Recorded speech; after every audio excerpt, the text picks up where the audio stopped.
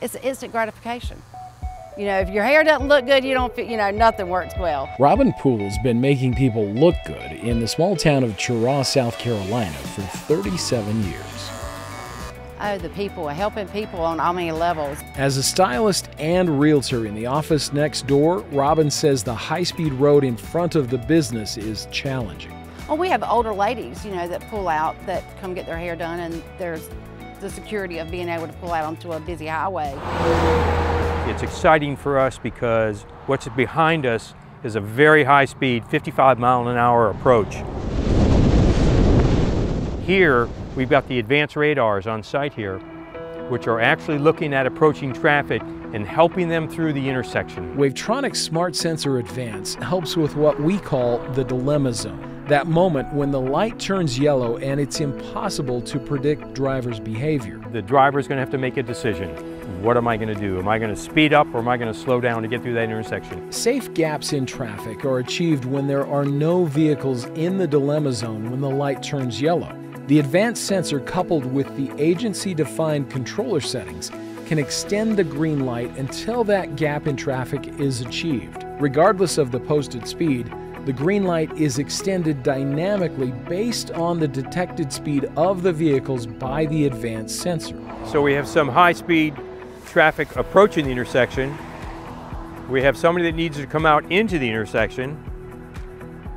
And we now have a safe gap where everybody can stop safely. The light has turned yellow, stopping the oncoming traffic and allowing the side street traffic to exit. We're seeing it work here, but we've seen it at, at hundreds of other locations around the country as well. This is the first in South Carolina, and that's why it's so gratifying for, for us to see this. The town of Chester is the second location in South Carolina to use dynamic dilemma zones. It's actually uh, known as a bypass loop, so you do get a lot of trucks, a lot of high-speed traffic there as well. And so this was a great choice, not only here, but in Chester to do this and take a look at this and utilize this technology.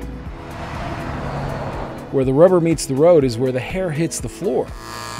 Back at the salon, where they see and hear everything that goes on in the community and say they're seeing and hearing a lot less these days. There doesn't seem to be um, as much traffic having to stop suddenly at the stoplight, less wrecks. Robin says it's a lot easier for her to get into work and customers to get in for the do that makes their day. You know, coming to an appointment and then the traffic's backed up and they can't, they're late for their appointment. So yeah, we do notice. And that doesn't happen anymore? No, it hasn't. Right here. We understand every intersection is unique.